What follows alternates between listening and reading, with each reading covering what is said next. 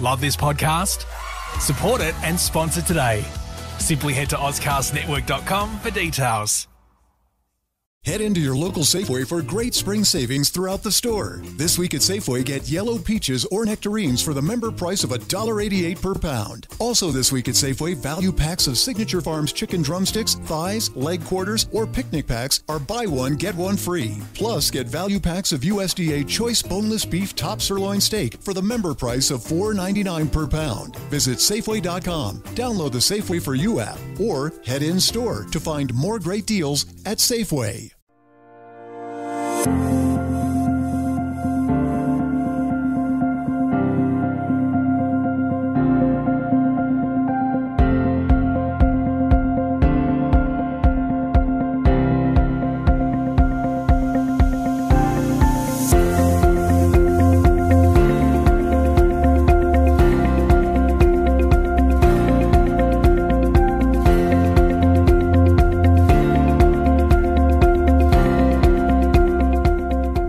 audience, wherever you may hail. I'm your host, John Bruni. Welcome to The Focus.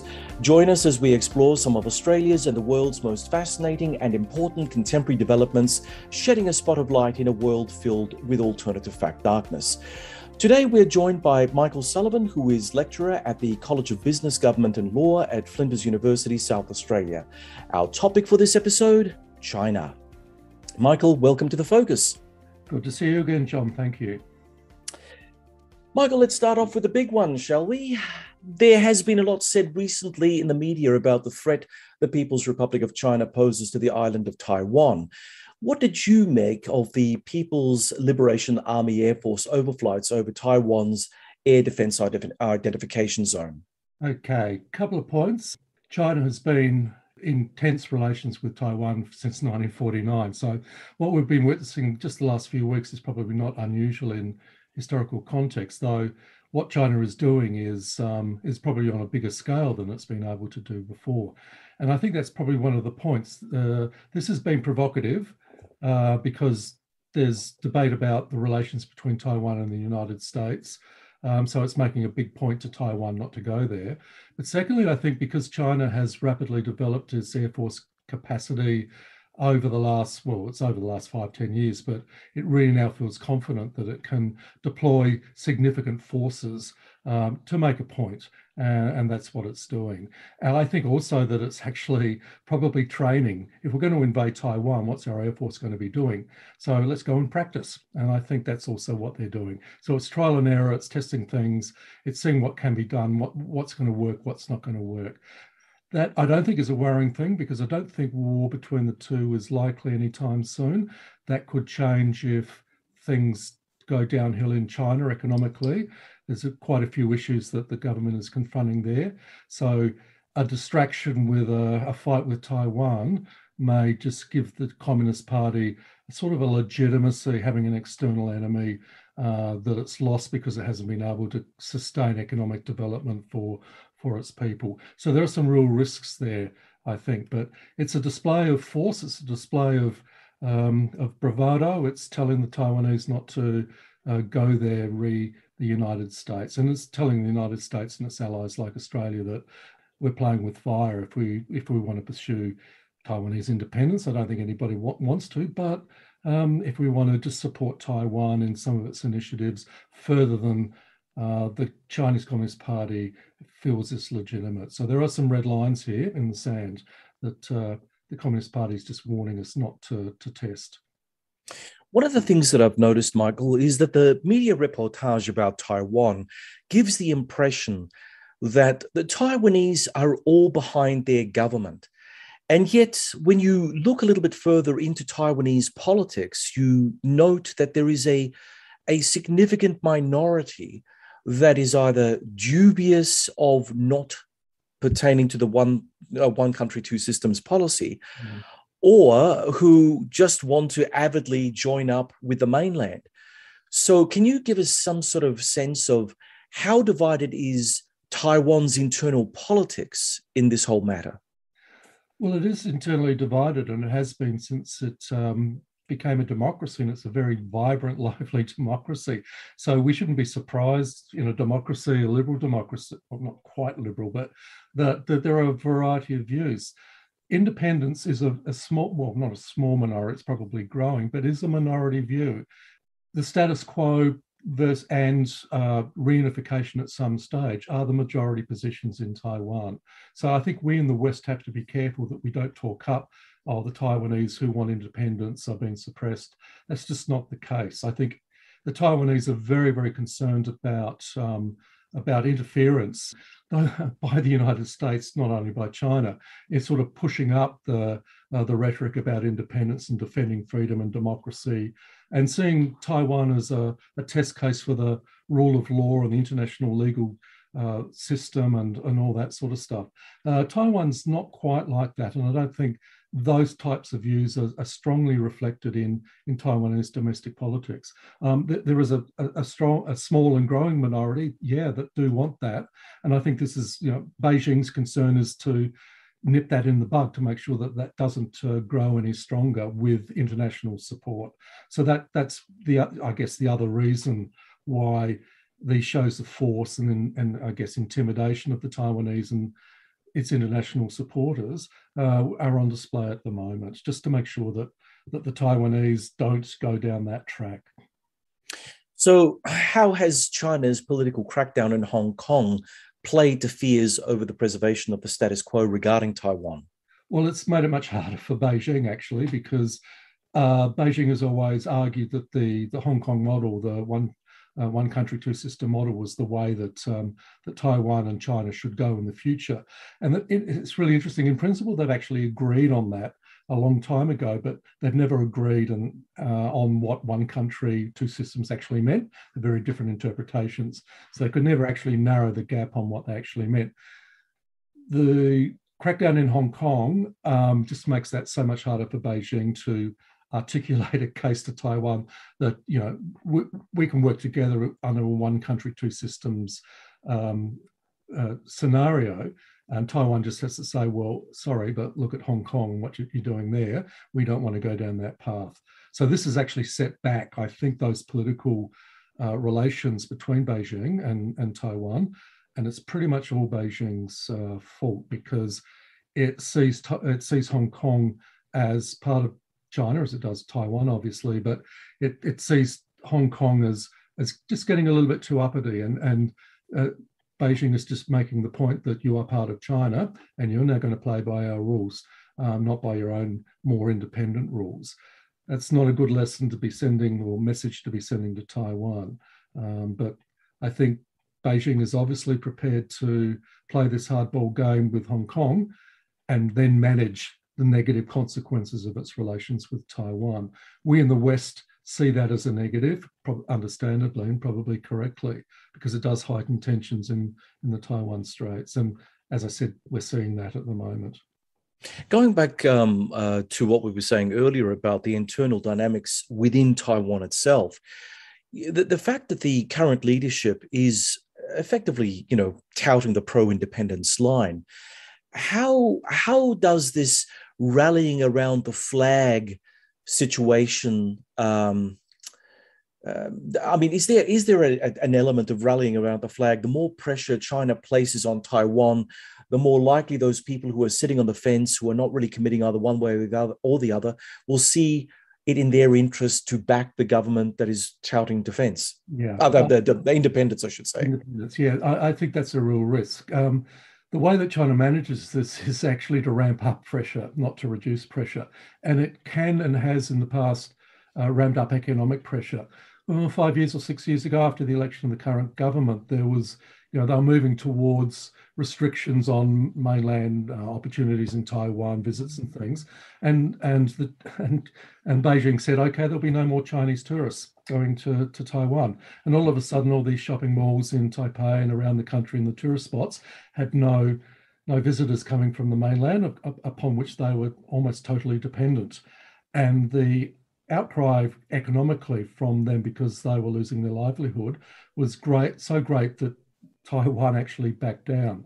So I think if there is any movement as a result of this towards greater support for independence or greater autonomy or or whatever in Taiwan, and that gets reflected politically, China will just ratchet up the economic pressure because despite their political differences, the economies are, are, interdependent. I mean, they're dependent on each other. China is probably more dependent on Taiwan economically than Taiwan is, so they've got very, very close economic ties. I mean, most semiconductors that China relies upon, especially the top shelf ones, come from Taiwan. So they're not really in a position to uh, antagonize the Taiwanese all that much, but I think there's still a fair bit of room for, for both sides to be just playing this political game against each other.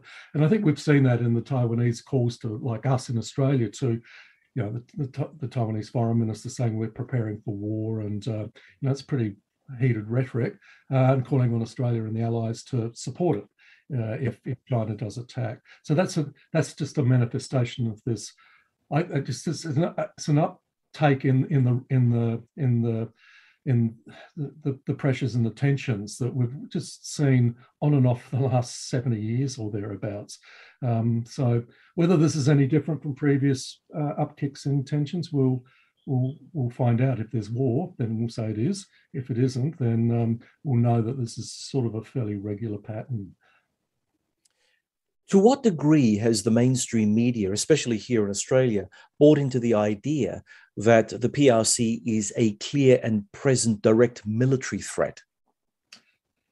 I think it's uh, hook, line, and sinker. The I think the consensus was reached in Australia among our uh, defence planners and strategic thinkers, with a few few exceptions, that uh, China does pose that threat, and that we need to start preparing for that contingency that war may happen um, probably with the United States over the South China Sea or in the East China Sea with Japan or over Taiwan uh, sooner rather than later. So I think that that is the dominant view now. So the way I put it is when we go around the room among our our planners and the question is asked by say the minister or you know uh, what are we going to do about China? The question is not is China a threat or a real threat to Australia? The question is, given that China is a threat, uh, what are we going to do about it? And that, there's a clear difference between the two. So there's not much room now to view China as anything but uh, a challenge and a threat. And the worrying thing about that is it's, I call it sort of the national security prism. And we obviously need a national security prism uh, to test and assess everything. But when it's the dominant form of assessment and diplomacy is in the background and our economic relations are in the background and our ties with students coming here, tourists coming here, us going up to China to teach and tourists going there, all, all those other dimensions of our relationship, when they're in the background and are basically dysfunctional, as some of them seem to be now, and that national security prism dominates, that's worrying for me because if Chinese company wants to invest in Melbourne or Adelaide, what do we do? Is that a national security threat? We ask that question first. And I think that's a significant shift from what we used to do even a few years ago. We'd obviously look at the national security implications, but it was part of all of those other dimensions. Now that national security dimension is, is the dominant uh, dimension. That's not to say that there are sort of other, there, there are economic relations that have that are continuing. So Chinese continue to invest here and companies are looking for investment opportunities. So there is a level at which it's sort of not quite business as usual, but it's not all forlorn, but it's, mm, uh, I just don't like that dominance of the national security prism at which we look at, at China. So China's academic comes here. Has he got connections with the PLA that what his research here or her research here may be feedback into the Chinese military industrial complex? That's the first question we're asking. It's the first question we actually ask our universities to assess before they make decisions about which China scholars and academics and, and students that they'll, they'll allow in and what projects they'll be allowed to work on. Michael, yeah. isn't that actually reasonable though? Because you, you know the way that uh, China presented itself as a direct threat to Australia, first and foremost, was as an intelligence threat, as a trade threat, as a cyber threat, you know, these kind of uh, more nuanced threats. You know, they didn't come with us uh, holding their missiles and threatening us with annihilation. They came carrying the uh, you know the, the the the peace the peace dove the peace dove that is uh, capitalist development you know we make money you make money everyone's happy we all go home happy yeah. uh, now in you know using that as a cover some pretty significant things had happened especially when it came to supporting australia's political parties now we can say that you know china saw an opportunity and it used it because we were stupid enough to uh, allow political parties to have donations from God knows where, no one really checked uh, up until recently. So, isn't there a sense of, yeah, I understand that there is a, a bit of panic going on in our political circles. We have overly securitized mm-hmm. our relationship with China. But, you know, they did do certain things that made us go down this path too. It's not just about them being good guys, we being knuckle dragging uh, you know, diplomatic Neanderthals, although, I mean, there is a case to be made there. well, yeah, that's another question, yeah. Oh, yeah. Look, I think you're right. But I think those issues, what's interesting about all those issues, and we can catalogue them, and that they've all been called out by Australia. We all know about them, and we've we've dealt with them. I think fairly effectively. I some in some instances we may have gone a little bit too far, and that's our message to China. Um, you, you can try these things, but you're not going to get away with them. And that's probably one of the strengths of our, you know, and the resilience of our political system. I don't think we then need to basically go to a blanket paranoid, which I think it is, mm-hmm. um, fear of whatever China is saying or doing or trying to do is, is, is some sort of threat. So you, you, are probably right. The Chinese probably shot themselves in the foot on a number of occasions because they have gone over overboard. Um, the other other side of that, I mean, the, the digital, the cyber stuff, yeah, I mean, that's that's very active and and very strong. But we do the same to China. I mean, we're, we're not just a, a cyber, engaged in cyber defense, we're, we're engaged in cyber offense as, as, as well. And a lot of that's directed against China. So this is just a tit for tat um, game uh, in many ways, a, a, a dangerous game because errors can be made, mistakes can be made, miscalculations, misperceptions always come into the calculations when everybody's sort of getting really, really tense with each other. And that's two sides. It's us and the Americans on one side of the alliance and, and China on the other side. So my my real fear is that one day either side, one of one of the sides, either us or the Chinese, are going to miscalculate on something and who knows what's the results going to be. So I'd like to just sort of step back a little bit, deal with the, the, the, the issues that China worries us about, and give space for the other things that for 20 years we, we took from China and we gave to China, and everybody sort of worked. I wish we could do a little bit more of that, uh, as as well as just keeping a closer eye on, yeah, on those security issues that are important. Well, speaking of important security issues, we have the Quad 2.0 and we now have AUKUS. Have they successfully created a strategic bulwark in the Indo Pacific against possible Chinese military provocations? Uh, no. Um, to the extent that there is a successful military and strategic bulwark against Chinese expansion, it's the it's it's ANZUS if you want to focus on Australia. The the Quad and and especially the AUKUS. Uh, I well, the Quad probably less so, but AUKUS is just is just an addition. So we've got a bilateral, trilateral, and quadrilateral relationship, and the only one of those that actually mentions China is the bilateral relationship.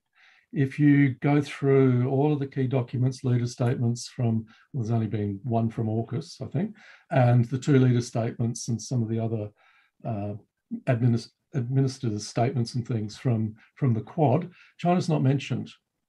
Uh, China is just not mentioned. The, word China is just not mentioned. Um, and I just wonder why, if we're if this is about containment or balance of power, why don't we just out ourselves and say this is what it's about because we're in fear of China? And uh, we talk about being in fear of China and the de- rapidly deterior- deteriorating strategic situation in the Indo-Pacific. You know those talking points we hear all the time. Well, if if that is the case, why don't we just name China as the cause of that? And this is all designed to balance against China or contain it. So I just wonder why we're not. Well, I think I know why because India and Australia in particular are not too come and even Japan just not too comfortable politically naming China because they know that we'll cop uh, a political backlash from China, and we've already copped for two or three years a significant reaction from negative reaction from China. So until I actually read a, uh, a Quad's leader statement that says um, we're, we're establishing a balance of power against uh, China because China threats is a threat to the region, and you're all threatened. Come and join us if it's not that game, what is the purpose of it? Surely it must be more than just to have a, a regional vaccine outroll program for, for the Pacific, which is all it's basically doing at the moment. Surely, why do we need a quad to do that? So if it's more than that, which I think it obviously is, when is it going to come out and actually acknowledge that and let's get on with it? So why would we be worried about the reaction from China if we're seriously going to try and contain it or have a balance of power against it. Let's get on and do it. And well, I, I actually agree with you. I mean, I think it's ridiculous uh, for us to to take a step back and say, well, we're not going to name the elephant in the room, but we all know what that elephant is, and we're all going to take measures to defend ourselves against being trampled by the elephant. But you know, we won't give it name because if we mm. give it a name, we give it power. Or maybe it's something along the lines of we won't name China just in case we will have some sort of back channel diplomacy happening. And we don't want to cheese off the pragmatists who are sitting somewhere behind Xi in the plenary, you know, uh, in, in, in back row 500 seats down you know so if we do have like uh, this this ability to reach back uh, naming China would probably say you're naming the entire CCP, you're naming the entire people, and so therefore they're the enemy. And in actual fact, what we want to do is we want to split the elements that we find not so pleasant to deal with, as opposed to lumping everything together and saying China is the threat. We have to defend against China, right? You've, you've raised a really good point there because um, we don't know, and I think I don't know whether our intelligence agencies know any more than we do in the public domain. They may do. Uh, the assumption is that Xi Jinping is is is running a, a, fairly united country, and he's he's doing that partly by trying to deliver on on uh, economic prosperity and social stability, but he's also eliminating uh, opponents uh, through his anti-corruption campaign, which has been going on since 2013. This is not just uh, a day by day. Let's you know get through rid of a few corrupt people. Uh, this is coming up nine nine years next year. That he's uniting the country behind him, but it may be the case that there are disaffected leaders within business, within the government, because the government isn't the same as the party. There is a really large, uh, well educated, sophisticated government apparatus that wants to get on with governing the country.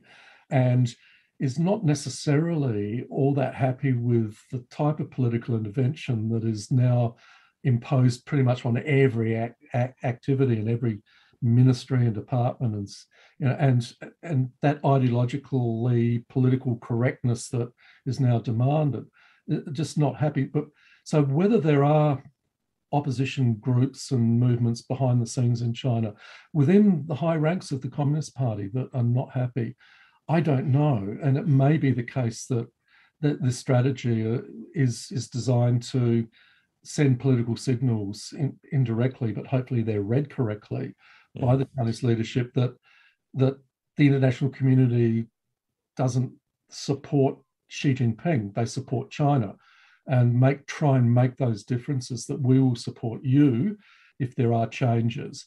I don't know it's that's a really risky strategy if that's what we're doing, uh, because it can backfire. And the hardliners within the regime, mm-hmm. uh, who are the nationalists in the PLA who want a harder line against Taiwan and us in the United States, they could seize the moment out of this if there's any dissension and and political instability within the, the ruling echelons of the of, of the party. So it's a high risk strategy but I don't think we know. So again, we'll just have to wait and see how this pans out. Yeah, definitely. Yeah. So, what do you think of the state of diplomacy between Xi's China and Biden's America? I mean, where's the pragmatism gone, Michael?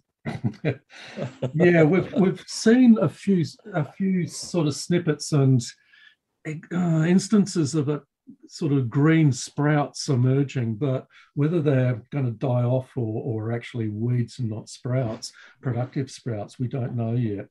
It was good that the the Chinese military and the, the US uh, Defense Forces met for a couple of days just early this week or late, late last week.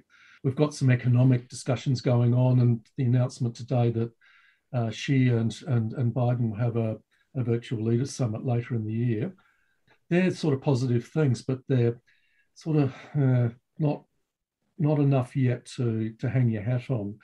I've just noticed that there are concerns in the Ameri- in the United States among its its commentators about the coherence of the U.S.-China strategy. I think on paper there's sort of a coherent strategy there, but its delivery uh, there are concerns. Uh, uh, some of the, the sort of key supporters, I think, of the strategy have expressed some some concerns. Uh, and on the other hand, I've got no doubts in China there's an equally big debate going on among the uh, uh the, the, the, ruling policy-making elite about how to handle Biden and, and the foreign policy. There hasn't been much, there's not much difference at all, if any, between uh, the, the, sort of the pragmatic uh, dimensions of Trump's policy and Biden's policy, the, the, the, atmospherics and the language has changed quite significantly, uh, which is good. So we've moved from that Pompeo, you know, uh, ideological good versus evil, light versus darkness warfare uh, language to a much more, these are our interests, these are your interests, and let's sort of see if we can work this out pragmatically. But the fact that, that John Kerry, the US climate change advisor, you know, climate change is an issue that China and the United States need to work on, obviously. And it was for, I think, the Americans a no brainer that when John Kerry went to Beijing uh, six weeks ago, whatever, uh, that the Chinese would sit down and, and, yeah, we can work on this. And the Chinese said, no. Um, here are our list of other things we want to work on while we're working on climate change with you. Uh, and I think that caught the um, US by surprise that the Chinese didn't just accept that the Americans, here's, here's our terms and conditions uh, to negotiate climate change, will you? And the Chinese said, no, we're not going to accept your terms and conditions. We've got, our own terms and conditions. Can we negotiate on those? So I think the Ameri- the United States, they've sort of that, that set them back a little bit. And the US trade, uh, what's her name? I forget her name, doesn't matter, um, who's just been in Beijing or about to go, she the expectations that they would sit down and, and, negotiate over some of the Trump era economic uh, things, and she came with nothing. They were the Chinese were really surprised that there was nothing there that the Biden administration was prepared to sit down and negotiate. Look, we'll we'll we'll work with you on this and uh, reduce some of these Trump era uh, tariffs and things but she, I think, just wanted to sound out the Chinese position. So I think there's still a lot of uncertainty on both sides about how to treat the other side. We're not even 12 months into the Biden administration, so I think we've got to give them time to find their feet a little bit. They wrote a lot uh, before they were appointed the, the, key players in the China game, the Indo-Pacific game, during the Trump, late Trump administration period, about how they saw uh, the China US relationship under a Biden presidency. So they're still trying to work out how to translate their ideas into uh, policy. So that's a learn, an upward learning curve for them, despite the fact that many of them are really, really experienced. They know how to work in Asia. So I feel, still think they're trying to work out you know, their, their current interests with how they know China works and just get, get all that together you know you don't do that overnight. So i'm not surprised that there's you know some issues with just making this work. As i said it's less than 12 months into the biden presidency so you just mm. got to cut them some slack. And the chinese will be working on how to respond as well well, you could say that, you know, we need to cut them some slack, but I see that the Republicans won't be cutting them slack no. anytime soon. No. Now, with regard to that, you know, the, those recent Senate hearings saw General Milley come up and say that he had to reach back to his Chinese counterpart to ensure that they understood that, you know, President, the former President Trump was, uh, well, blowing a lot of hot air. And he wasn't necessarily going to blow up the world because, you know, it was his art of the deal approach to everything. so, what, what did you think about that?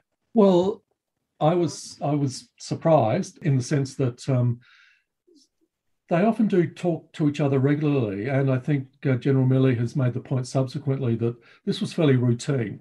That um, you know, I, I, have to talk to my Chinese interlocutors, you know, sort of off the record, sort of second track diplomacy type stuff, I guess, rather than the formal uh, stuff that states do with each other. But I didn't buy that at all as a justification or an explanation for why I did it. This was, you this was normal for me to do uh, because what he said was, "We know that you think we're going to go to war with you." Now, when was the last time that um, the Americans rang the Chinese up over the last 70 years and said, "Look, don't worry, what you're hearing, we're not going to go to war with you, whatever you think." I just think that was the fact that US intelligence was telling them that Chinese intelligence was making judgments about maybe Trump will pull the trigger here mm. and just to reassure them that we won't. And then Milley, I think, well, hasn't acknowledged, but in the in in the book which re- revealed this, that Milley was putting into place contingency plans to disobey presidential orders if if that order came through on the basis there is a, a trigger in the chain of command that if you get a an unlawful order from the president, you can uh, how you define unlawful. But the mm. fact they were getting seemed to me towards that, there must have been great concern within mm. Within the U.S. establishment and great concern within the Chinese establishment as oh, well. Yeah. Yeah. So, that, yeah. so, I just did, do not buy the fact that, that was normal sort of uh, back channel or second track uh, communication. Um, you don't tell the other side that you're not going to go to war against them. I mean, Cuban Missile Crisis might be the last time we saw something equivalent. It's really worrying. Tells yeah. us about their intelligence each uh, intelligence agencies and how they operate. Well, certainly tells us something about the Trump administration, and that you know we all were quite justified to be rather scared of it because it was it was effectively unpredictable. And Trumpism is not dead because I think Trumpism has been kept alive for 2024.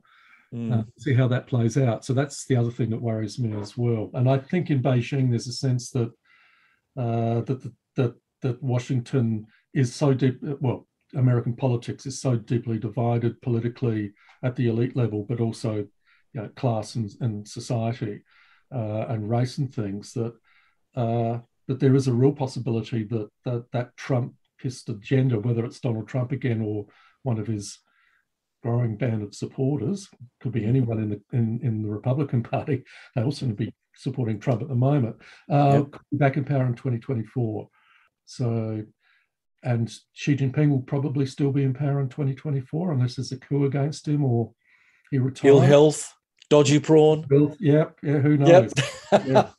Um, so they're probably thinking about, you know, that's that's fairly short term for the Chinese, but they must be thinking because there's no obvious successor or succession planning that anybody knows about. So you know, we've got the you know the next big party congress, which is the twentieth, which uh, is November next year, uh, which one assumes that he will continue on because he's you know made it possible for him to continue on. Yeah, so he'll go well into his 70s, which of course makes him much younger than either Joe Biden or a potential Donald Trump president in 2024. Yeah, let's not split split hairs yeah, between yeah, the uh, septuagenarians and octogenarians in power. yeah, true. I'm John Bruni, and you're listening to Sage International's The Focus podcast, and we're speaking with lecturer at Flinders University, Dr. Michael Sullivan, on the People's Republic of China. Michael, what can you tell our audience about Xi Jinping and the direction he has taken his country? I often tell my students this, and I do this myself. I, I ask them to uh, just place yourself where Xi Jinping is and, and where he's sitting and what he's surveying and looking at and I can, when I do that, I can understand what he's trying to do. I don't think it's going to work. I think there, it is full of significant contradictions, which may just blow the place up. And not not anytime soon, I don't think. But if these contradictions, which is a very Chinese way of actually looking at this, uh, get worse and worse, then the party's not going to be able to control this.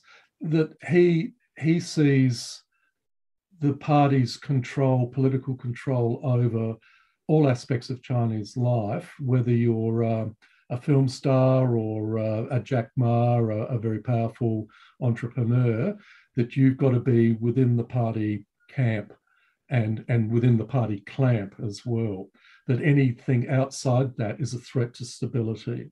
So the party under Xi Jinping has been progressively and probably accelerating this over the last two or three years, just bringing everybody. You know, it started with lawyers and environmentalists and NGOs probably three years ago, four years ago, when it was clamped down. So now it's just going to all aspects. So actresses and actors and uh, um, and and the entrepreneurs, and also the big companies.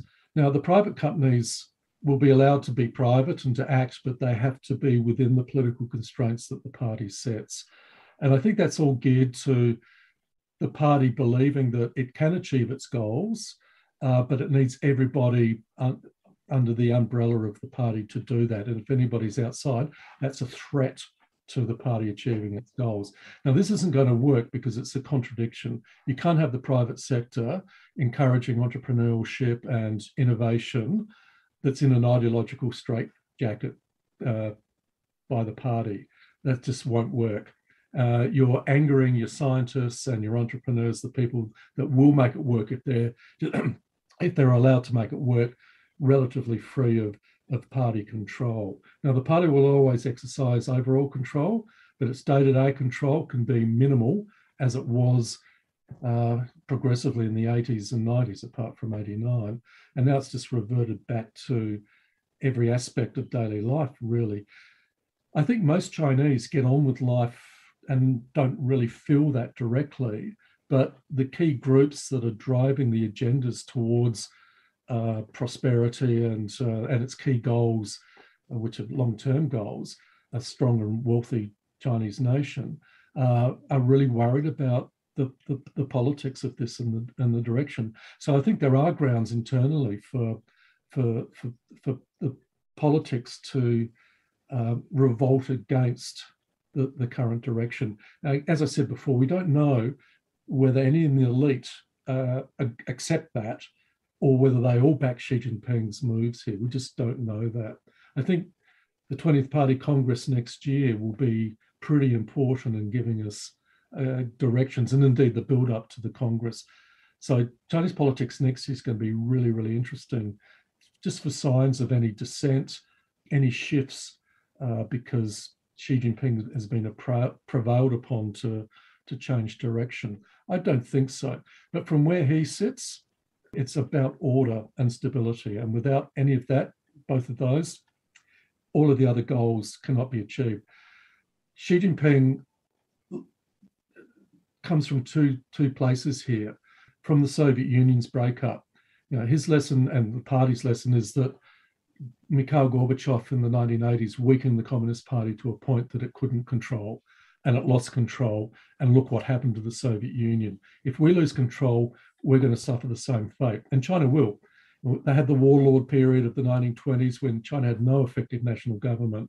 And, it, and each local, there were about six or seven of them, ran China, fought each other and went to war against each other and ran their areas. Um, and that's a likely scenario if from Xi Jinping's perspective. But you know, he he grew up as a, a, college kid or a high, late high school kid during the Cultural Revolution in the 60s, where the party fell apart in China, and his family and him personally, he himself personally, you know, suffered enormously, as did a lot of uh, of of the ruling elite and their children, and their families, and their connections. But his lesson from that, it was the, the breakup of the party by Mao that caused those problems his solution, his answer is very simple don't break the party up. So he, he's taken the opposite perspective, I think, on the rule of the Communist Party that what we in the West may have thought this guy was a victim of the Cultural Revolution, he must hate the Communist Party. No, it's the exact opposite. The Communist Party must come first at all, at all costs um, if China is to stay together and to become prosperous and powerful. And I think that's what we're seeing. He's not doing this because he's a nasty megalomaniac dictator. He's a genuine believer in in in what he's doing politically. That's, uh, aren't they? Aren't they the the people that we have to really be afraid of? I mean, true believers yeah, in true. any cause, right? Yeah, yeah, exactly. uh, one one of the things that I, I want to uh, take uh, take you up on, uh, Michael, is the idea that you mentioned earlier. You know that if he oversteps, you know he may get some significant pushback from people within the party who are kind of unhappy with the day to day micromanagement of how they go about their lives. So, how do average Chinese people, as far as you're aware, uh, take to the whole notion of that whole social credit surveillance state sort of thing that's grown up under Xi? It's it's a hard question to answer because the evidence we have from surveys and reports and things is that most Chinese probably buy the selling message from the government that this is a positive thing for you. This is smart and it, it is. It's, these aren't either or choices. There's the surveillance security dimension of this um, technology, and there's the smart city dimensions of this. And the two go together, unfortunately. I wish we could actually sort of hive off the, the bad stuff and not do it and keep the good stuff. Uh, you know, and smart cities is, is not just a Chinese phenomenon, it's a global phenomenon. Um, because if you can get your traffic flowing, you know, smoothly and less less pollution and stuff, then there are positive things that come from its use of the technology. But it is a surveillance state, an increasingly powerful surveillance state.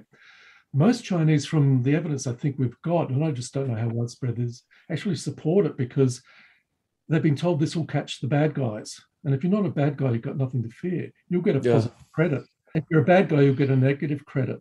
Hmm. Um, and a lot of Chinese think that's a good idea.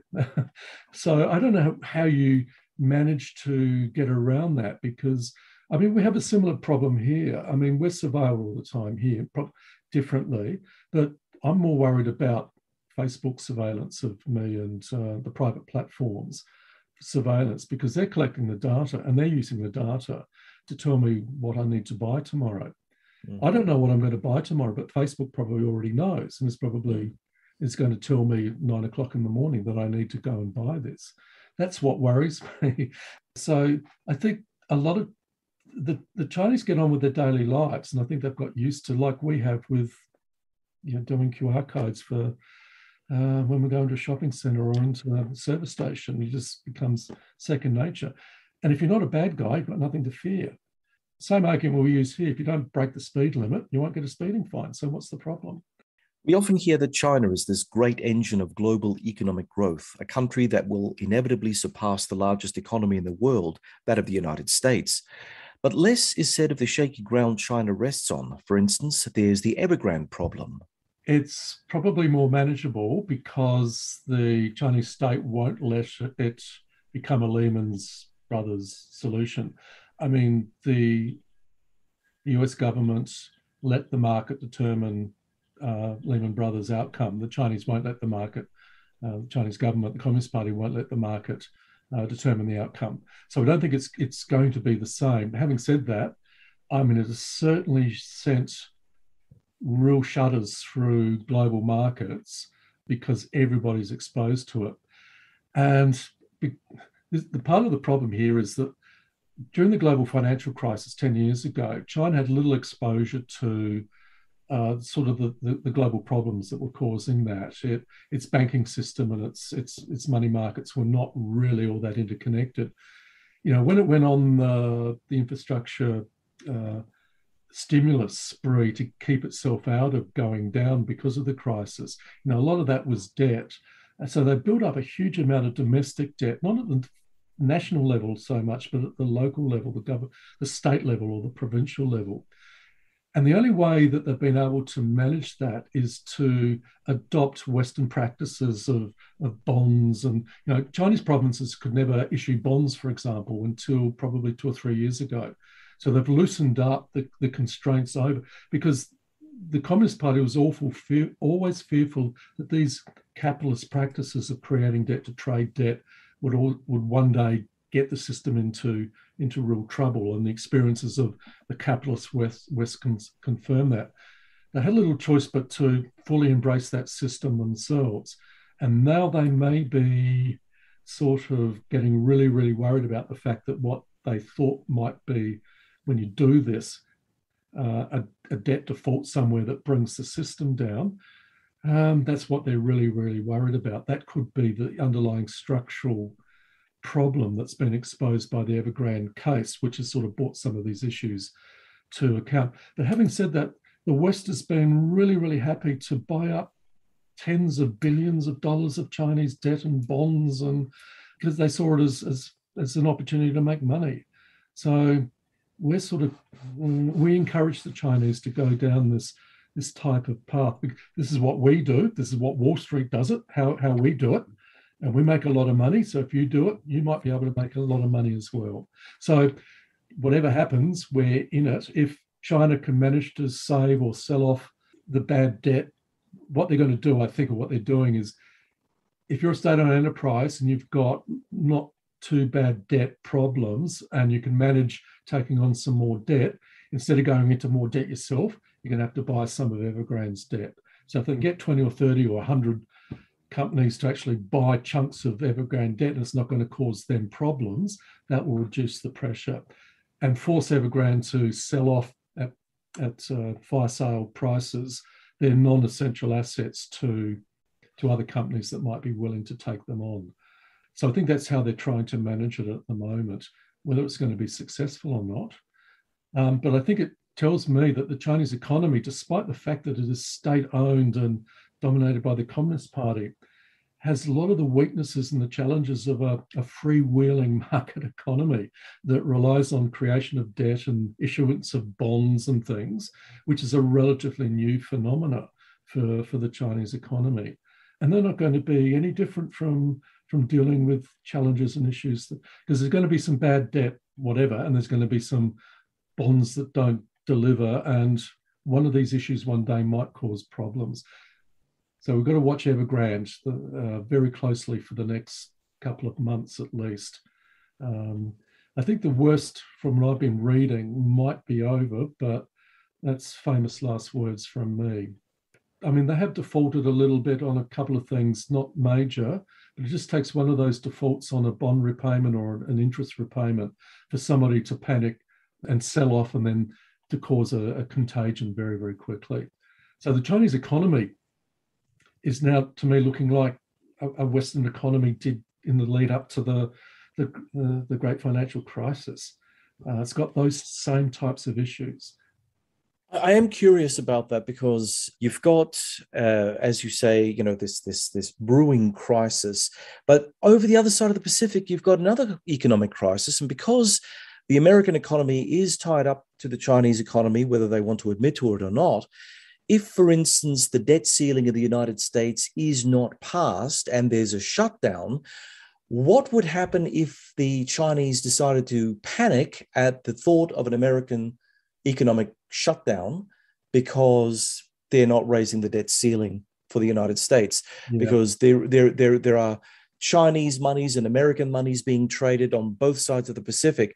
And something that can happen in the United States could have a profound impact on, on the Chinese economy, couldn't yeah. it? It's really, really hard to, to know that because your default position was that the Chinese government would know how to respond to that and would deal with it. But I don't think they would. If that happened, all hell would break loose and the Chinese government would have lost control over the economic fallout from that.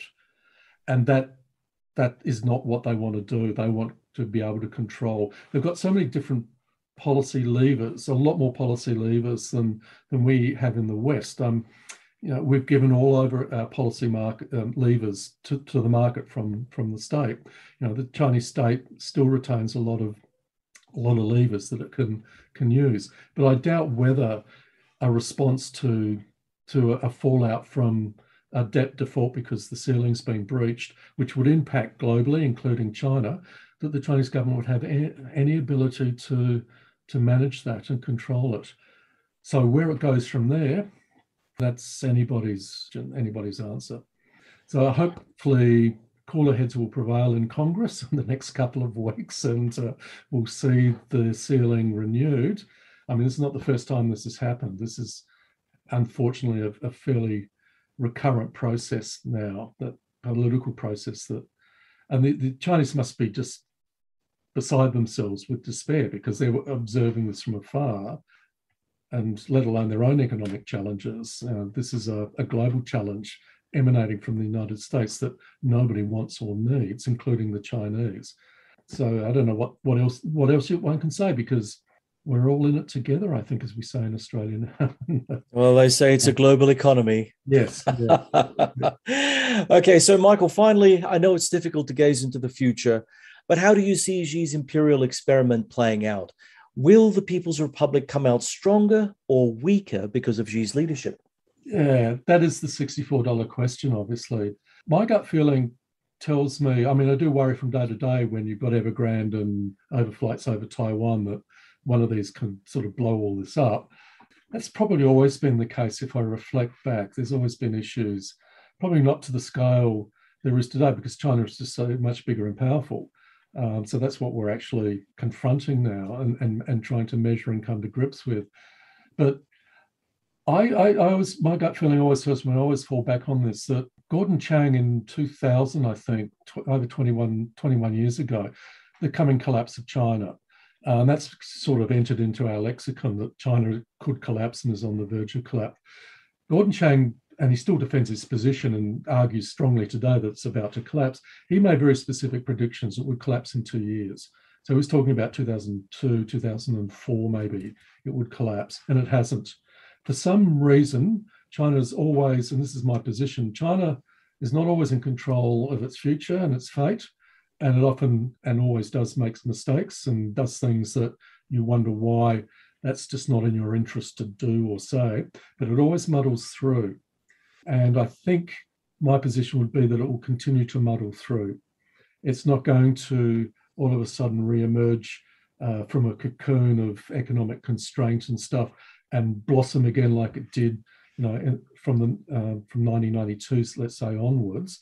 But it's going to continue to rise. The constraints will be how much it can devote to national security and defence because it's basically been not open slather, but it the military has had the largesse of a really strong, powerful, growing economy. That's not going to be the case in the future. So, how's the military going to deal with less resources probably going forward? I hate saying going forward, sorry.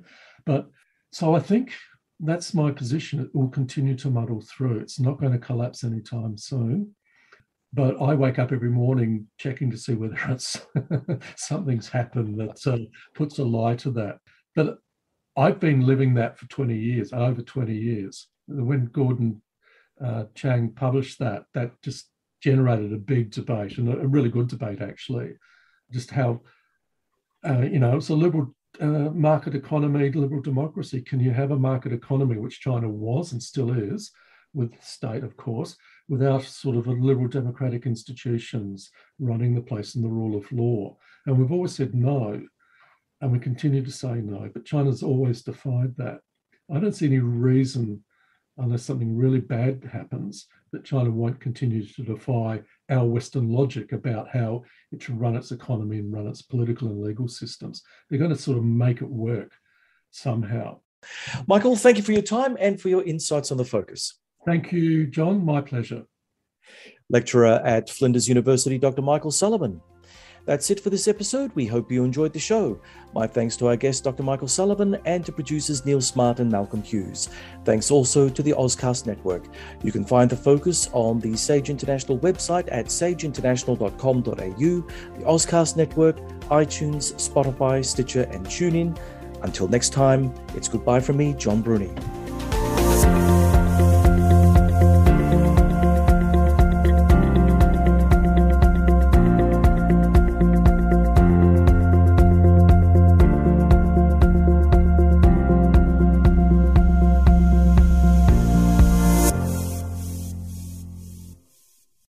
Justice is a national legal nonprofit fighting to protect people's health, to preserve magnificent places and wildlife, and to combat climate change.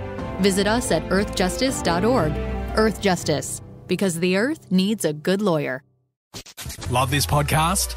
Support it and sponsor today. Simply head to AuscastNetwork.com for details.